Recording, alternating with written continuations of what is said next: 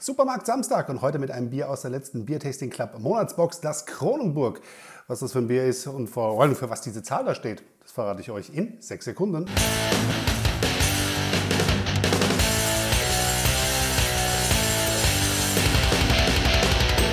Schön, dass ihr dran geblieben seid und damit herzlich willkommen zum heutigen Supermarkt Samstag. Ihr wisst ganz genau, der Tag der Woche, der reserviert ist für Biere aus einem Supermarktregal.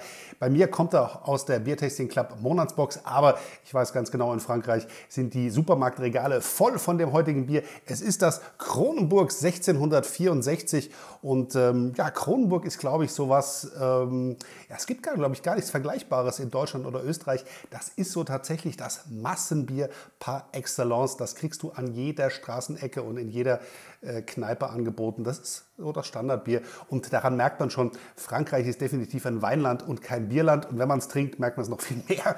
Ähm, ich bin ein bisschen voreingenommen, ich muss das ganz ehrlich sagen, wobei ich trotz alledem so manchen Campingurlaub als Jugendlicher in Frankreich ähm, ganz gut mit dem Bier rumgebracht habe. Aber da ist man dann auch tatsächlich ein bisschen anspruchsloser.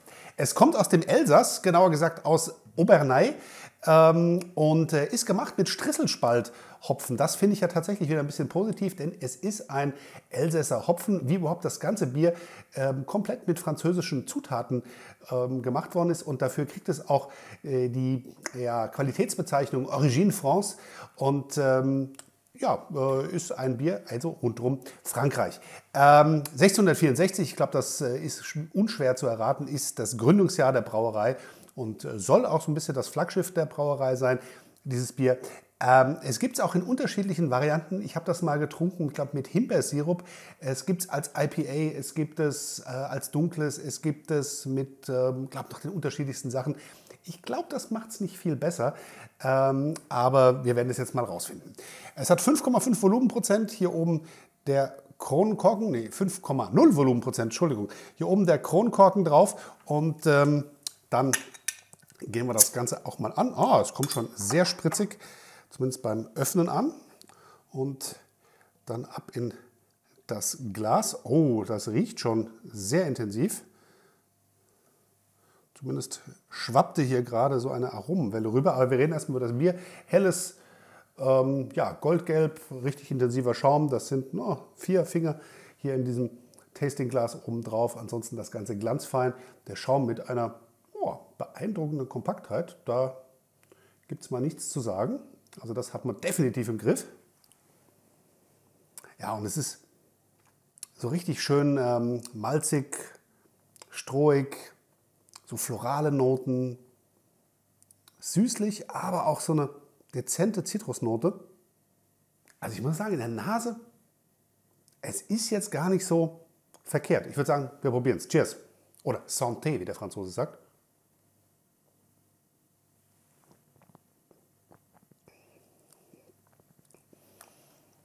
Ja, tatsächlich begrüßt mich eine leichte Zitrusnote, die so ein bisschen in so eine Grapefruit-Richtung geht. Ähm, leichte Bittere auch, grasiger Hopfen. Und dann kommt so ein süßliches, strohiges, biskuitmalziges ähm, Malzaroma hinten auf. Äh, und ich muss auch sagen, dieses Bier hat leichter und das, boah, das ist auch nur eine blassgrüne Flasche, sehe ich jetzt gerade, wenn das Bier raus ist. Das ist auch so eine hellgrüne Flasche, die ist nicht mal dunkelgrün. Ähm, das Bier hat definitiv einen Lichtgeschmack. Ähm, so eine leichte Karamellnote, wobei ich jetzt gar nicht weiß, wo die herkommt, ähm, und ein bisschen getreidig.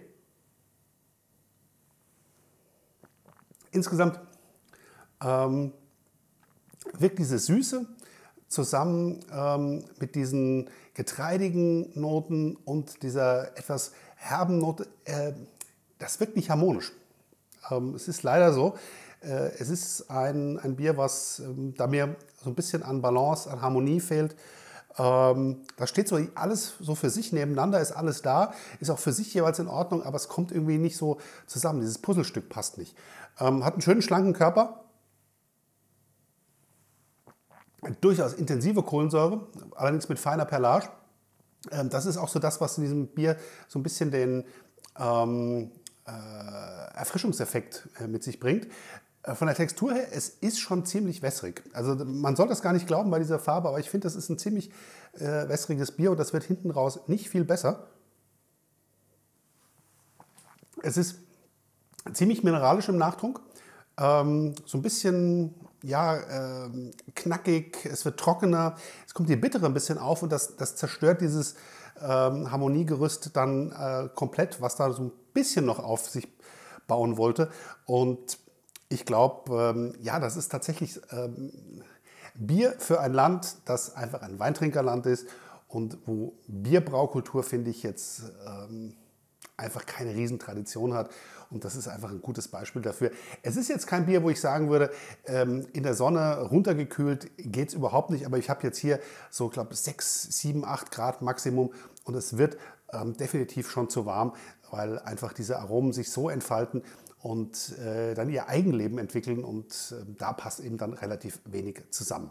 Ähm, ich muss ganz ehrlich sagen, ähm, ein guter Vertreter für den Supermarkt Samstag, ein nicht so toller Vertreter für die Bierkultur. Das Kronenburg 1664 von ProbierTV gibt es dafür zwei von fünf möglichen Punkten für das Kronenburg 1664 in der Normal-Edition, das International Pale Lager. Dann soll es das von meiner Seite auch heute gewesen sein.